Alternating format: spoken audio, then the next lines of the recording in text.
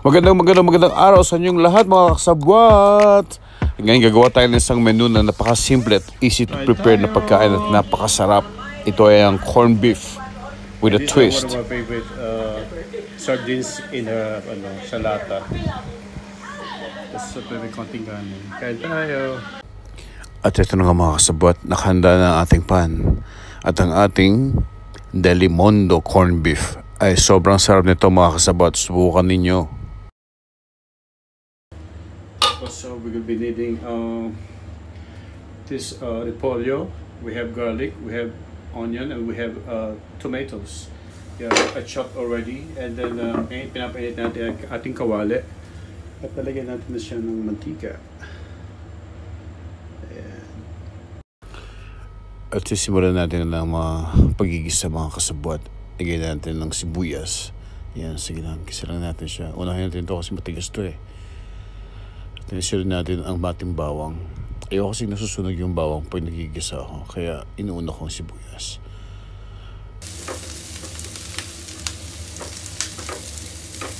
Fly me to the moon and let me play among the stars. And let me see what a spring is like on Jupiter and Mars. In other words, hold my hand. In other words, baby, kiss me. Kamatis.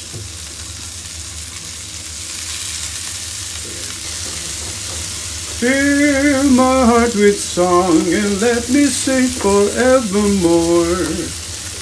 Cause you are all I long for, all I, worship and adore. In other words, so please be true. In other words, say I love you. And we're gonna put our uh, corned beef. Kasi ayoko medyo ma- ayokong matunaw yung ating mga sibuyas at mga bawang at kamatis. Gusto ko medyo bubo pa siya pagkakainin. So, we're gonna put the corned beef, the Delimundo corned beef. Actually, as it is itong corned beef na to ay napakasarap din yun. Oh, sabwat. Na-try din ba to? Delimundo. Hindi sa pinopromote sir. This is not uh, sponsored uh, cooking, you know. Pero masarap talaga siya. Pepper, seasoning salt. Yan. I guess din tayo malalagay ng salt kasi yung white pepper natin, yung seasoning salt natin siya. So, ayan. Mas maraming white pepper, mas okay. Mas masarap. So, pa rin na natin ng garlic powder. Ayan. More garlic, more pepper. Mas masarap. Hindi tayo lalapitan ng aswang. Ito na aswang. Nilagyan din na siya ng konting sea salt. Yan. Para walang masabi si Salt kasi baka sabihin niya, nilabas-labas mo ako, di mo ako ginamit.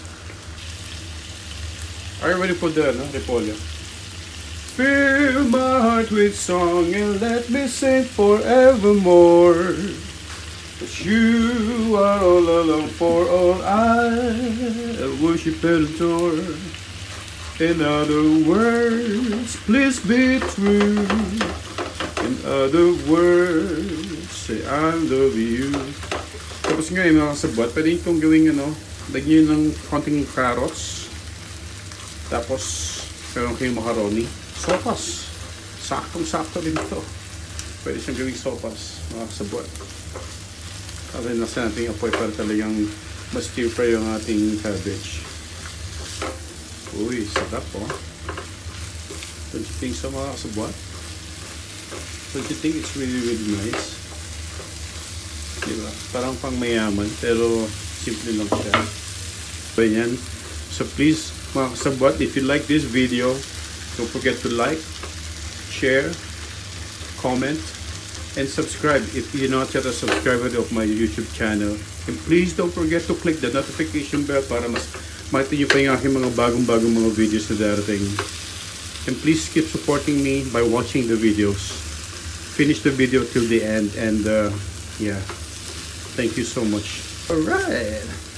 And we're gonna put it on a plate. Patay natin yung apoy. Yan. You know, I'm a killer kasi. Ito na ating plate. At ito na yung ating corned beef. Lalagyan natin sa plato. Yan. Yay! Yay!